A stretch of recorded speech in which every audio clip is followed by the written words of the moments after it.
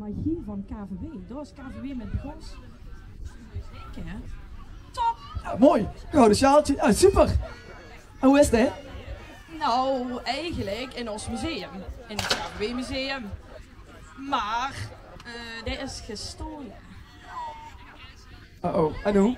Eh, ja, daar hebben we eigenlijk best wel een klein beetje een heel erg groot probleem, Mart. Want als we dat sjaaltje niet terug gaan vinden voor het einde van KVW dit jaar, dan is dit het einde.